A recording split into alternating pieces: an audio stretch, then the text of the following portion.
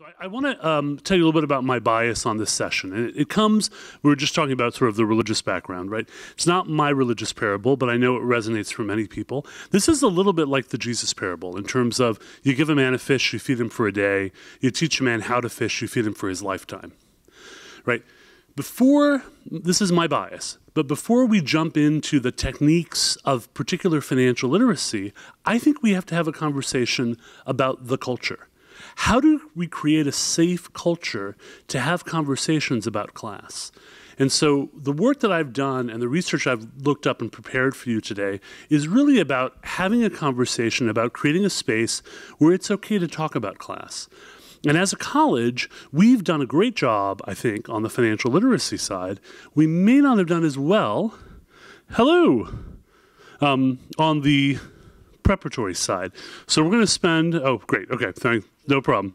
Uh, NASA's arrived. So we're going to spend a little time um, talking today about creating a space culturally that allows for a conversation around class. And I'm going to make the argument that when we talk about identity, class needs to be an aspect of that identity. So with that, there's a lot of research we're going to look at today.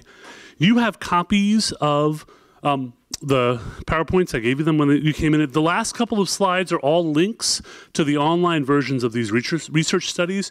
You're welcome to take a look at them.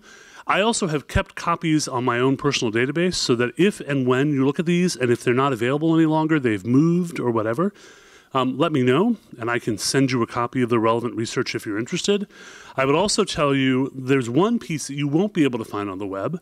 I've printed it out for you because it was, um, I'll tell you about it a little later. Um, but as a gift to you at the end of the night, I'll be giving you that in exchange for your evaluation. So your job is to do your evaluation for the session, and then you will get that last piece. But let's start here. So, what do we know about why diversity? Why does diversity even matter in the higher education space? Well, the there's very limited research. So if you're looking for a doctoral thesis question, this is a great one. What is the impact of a diverse college environment for student outcomes? But the limited research that there is does show consistently that racial and ethnic diversity has both a direct indirect direct and indirect positive outcome on student experience and outcomes. And so we know this comes from a piece called Does Diversity Make a Difference? And the answer is it does. Right? That by attending to multicultural learning, we extend the mission of the college or the academy.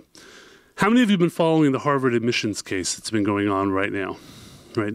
Um, you know, for those of you who know, have been following it, it's about a group of Asian American students who are suing Harvard, claiming that Harvard has turned them down, even though they should qualify because they're Asian American. Harvard's response is a really interesting one. It actually goes to this question, right? Harvard's response, if you read what they're saying, is that diverse makeup of a class is a social good. And that by saying some Asian Americans might be turned down who are more qualified than students of other racial or ethnic minorities or other racial ethnic backgrounds, they're doing so to create diversity.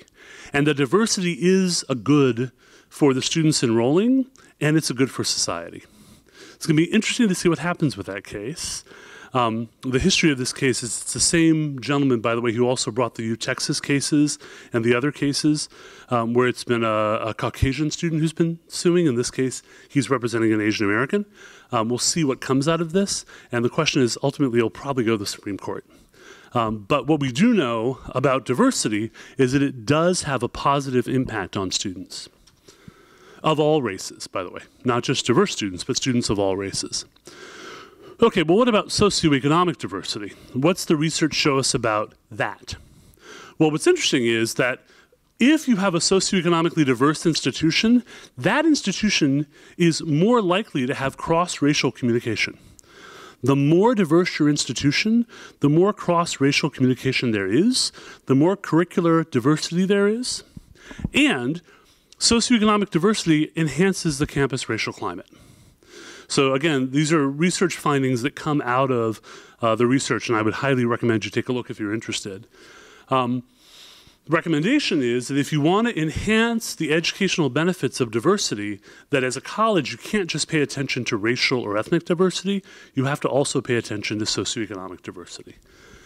right? And that that intersection of race and class is a really, really poignant place. How many of you are familiar with the Peace and Justice Institute on campus?